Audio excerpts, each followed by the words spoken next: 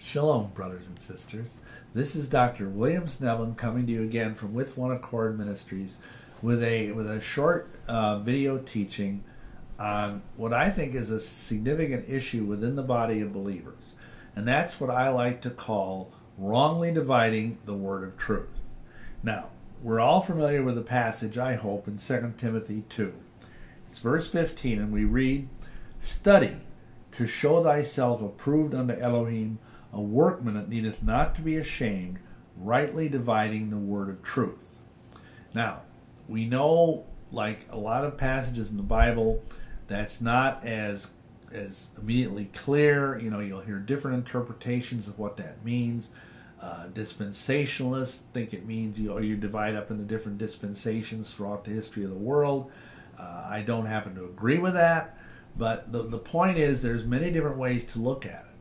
And you know, but the funny thing about this is, is there's some people that indulge what I call spiritual vivisection. Now, vivisection when you, when you cut up a living thing, usually an animal, of course, to examine it, it's, it's illegal because it's so cruel. But some people do that to the Bible, to the scriptural verses, because remember the Bible is living, you know, Hebrews, and so the thing is Sometimes what happens is people actually take an individual verse of Scripture and whack it in two. And they will neglect to mention either the first or the last part of the verse. And there is a reason for this. They have an agenda. And I'm going to share with you three or four places where, where there's, these are commonly preached Bible verses where something has been censored, something has been wrongly divided away from it. So, most have heard this particular passage where there is no vision, the people perish.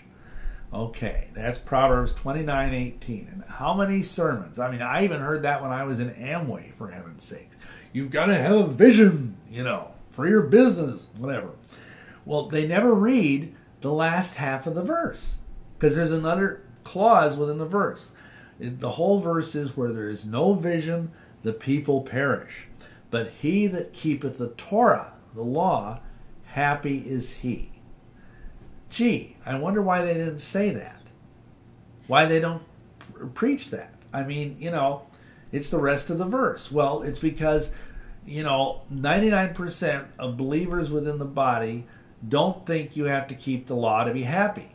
All you have to do is pray and ask the Almighty to give you a new Cadillac or a new home or a mansion or whatever you want to do, and it's like he's this cosmic bellhop up in the sky, and boing, there it is. But it doesn't work like that. If you want the blessings of Yahweh, you need to keep his commandments. And this is the problem with this. We don't ever hear the second half of this verse. He that keepeth the Torah, happy is he. Amen. Now, Amen. here's some more spiritual vivisection. It says in Hosea 4 6, and this is a very well known passage, again, we hear it a lot My people are destroyed for lack of knowledge. And I used to preach that all the time when I was speaking about cults and the occult. The fact that, that people, if they don't know about cults, they can be drawn into them, like the Mormons, who can be so deceptive, or other false religious systems. My people are destroyed for lack of knowledge. That's great but they never say the last half of the verse. And honestly, I didn't used to do this either. But it says, My people are destroyed for lack of knowledge, colon. Because thou hast rejected knowledge, I will also reject thee, that thou shalt be no priest to me, seeing thou hast forgotten the law, again the Torah, of thy Elohim, I will also forget thy children. Now, that's something that people should should hear, don't you think? That should be preached from the pulpits, not just the first clause. Because thou hast forgotten the Torah of thy Elohim, I will also forget thy children. Now, who doesn't want the Almighty Creator of the universe to remember their children? Well, you know, we have forgotten His Torah. I mean, 99% of Christians are out there, you know, they go to church on Sunday, which is not the right day. And after church, they go out and they eat ham and you know, pork and shellfish and all these things that are forbidden in the Bible. They violate the Sabbath. They do all of these things that the Bible tells them not to do. And then they wonder why their lives are a mess, why their children are in trouble, why the divorce rate in the and actually right now the divorce rate among Christians is worse than it is among non-Christians. This should not be, and it's because as Paul says, the mystery of iniquity already doth work. And what's iniquity? It's lawlessness. So, seeing thou hast forgotten the law of thy Elohim, I will also forget thy children. And even the idea of what is knowledge? Well, first and foremost, knowledge is knowledge of the scriptures. Most people act like the whole three fourths of the Bible that constitute the Tanakh, what, what Christians call the Old Testament, is not even relevant anymore. And nothing could be further from the truth. It's the foundation for what is taught in the Gospels and beyond. And, you know, what happens if you build a house without a foundation? Yahushua warned us that, you know, great would be the ruin of that house if it's built on sand instead of on rock. And what is rock? Rock is the scriptures. So, then we have one more right in the um, Ten Commandments. Everybody's familiar with this. We've all heard this preached. Thou shalt not take the name of Yahweh thy Elohim in vain. Amen. Hallelujah. Well, of course, they don't say Yahweh and they don't say Elohim. Here's the thing. The problem with this is, is they don't read the rest of the verse. For Yahweh will not hold him guiltless that taketh his name in vain. Now, what does that mean? Well, first of all, what does it mean to take his name in vain? You ask nine out of ten believers, they're going to say it means you shouldn't curse, you shouldn't cuss, you shouldn't take, say, GD, you know, things like that. Uh, or, or, or use the name of Jesus in a, or even Yahushua in a profane way. And all of that is is good. I mean, that there's nothing wrong with that, except Yahweh is not nearly as concerned with that as is with the other two meanings of that phrase. Um, the word in vain in Hebrew is shav, and it can mean to make desolate, to make it evil, making it useless, making it false, or making it into idolatry. That's right. Now, here's the problem 99 out of 100 Christians never say his name. They call him the Lord, or they call him God, or they call him, you know, the, a lot of Christians love to get into these these names of, of Jidashti. You know, they'll say, oh, El Shaddai, or they'll say, they want they'll say Jehovah, which isn't even right because of course there was no letter J in Hebrew, and there still isn't a letter J in Hebrew. Uh, Jehovah Nisi or Jehovah Yirah, you know. Um, on and on and on. And they think that's so great, but they don't realize those aren't even his names, those are his titles. And Elohim, you know, which in English Bibles is usually rendered God, that's that's a title, that's not his name. His name is Yahweh. And if you never say it, and as the the rabbis do, they forbid you to say it. That is a deep sin. That is taking his name in vain in the fullest possible sense of the word. And I understand that originally, talking about the rabbis, they did that because they thought that they were trying to prevent it from being taken in vain, to being used indiscriminately. But that's that's not a good reason to just totally like right now. If you ask 99 out of 100 Christians or 99 out of 100 Jews, what is the Father's name? They don't know. The, the Jews will say Hashem or Adonai, and that's not right. His name is Yahweh. Now, here's the other thing. It can also, to take his name in vain, means to, you see, if we follow him, if we follow Yahushua, we are taking his name upon ourselves. And then, if we go out and we sin, and we act like the devil when we're bearing his name, when people know, oh, that guy's a Christian or that guy's supposed to be following the Bible or whatever you however you want to characterize it, and he's out there and he's he's you know cheating on his taxes or he's you know all these different preachers you hear about that are committing adultery or are being led away for financial malfeasance or tax fraud or things like that, this is also taking his name in vain. Every bit as much as, as cursing in the sense that most people think of it. Because the funny thing is, if you say, you know, gee, damn something, you know, first of all, that isn't even a word. I mean, the word God is not his name. If you were to say Yahweh, you know, something, that would be much more serious. But nobody says that.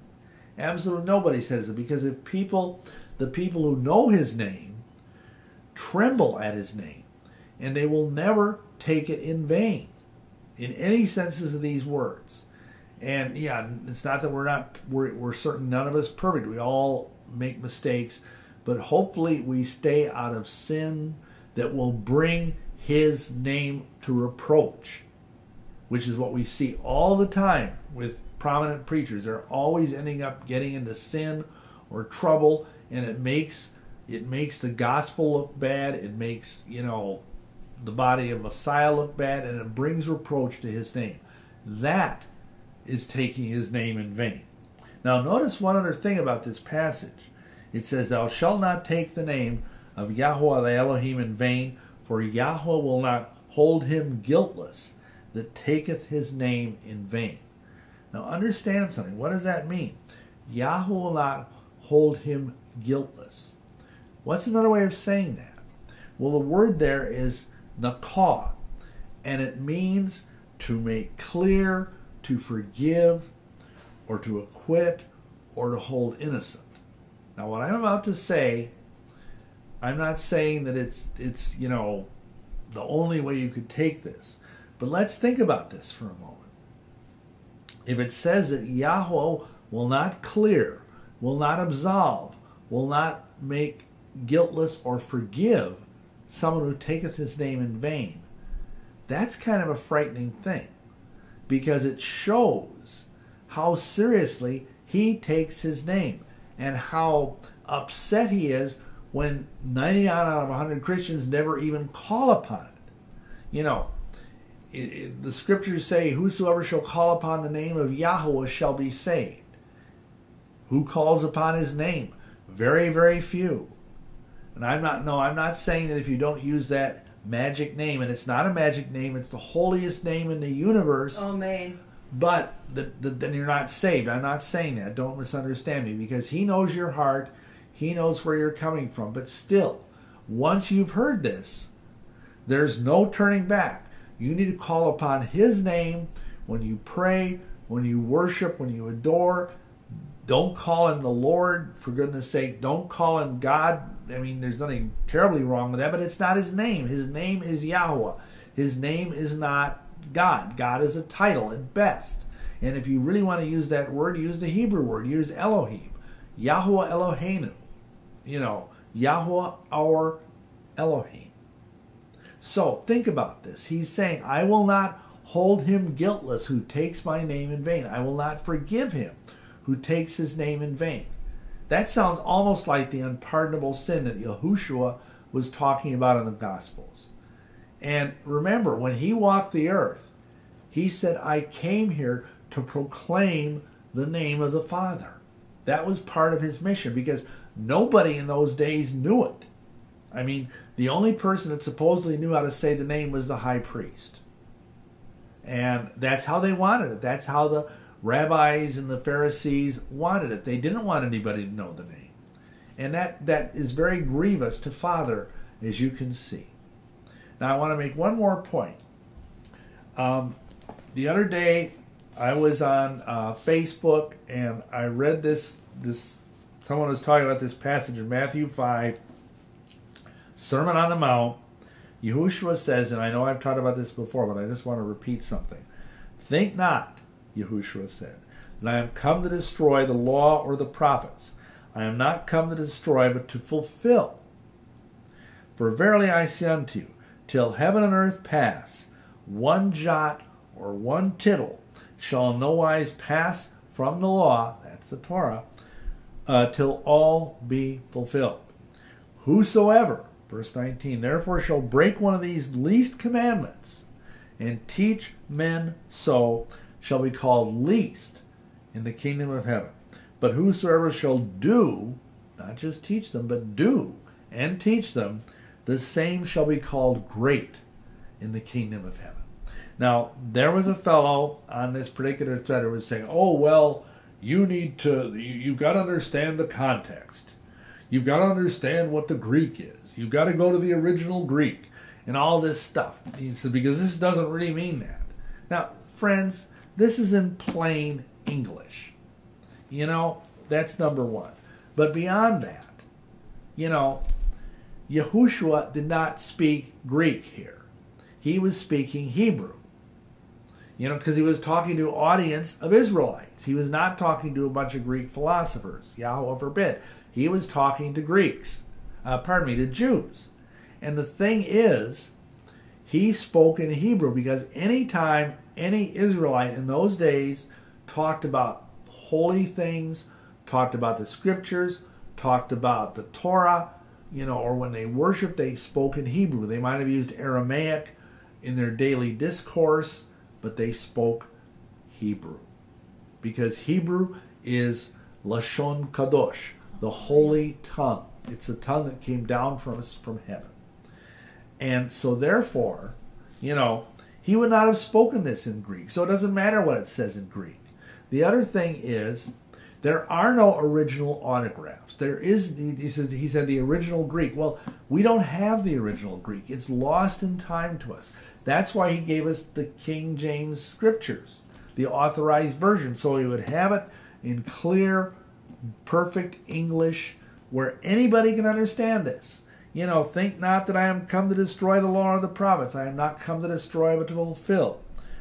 You know, and he says, Till heaven and earth pass, one jot or one tittle shall no wise pass from the law, till all be fulfilled. So I would tell you, friends, you know, I've said this before, but I'll say it again. If the if heaven is still here, earth is still here, all things have not been fulfilled because obviously we, we are still all of us laboring under the curse of Adam. You know, women are still bearing children with travail and, and sorrow and so on. The law is still here, the Torah is still here. We need to honor it because that's how we show how much we love Yahushua. Brethren, thank you again for listening. Uh, we pray that if there's been a blessing to you, you would please share this scripture about wrongly dividing the word of truth. We pray that you would please subscribe to our channel and please, you know, if pray for us and if you feel so led, help support us financially. Thank you very much and shalom.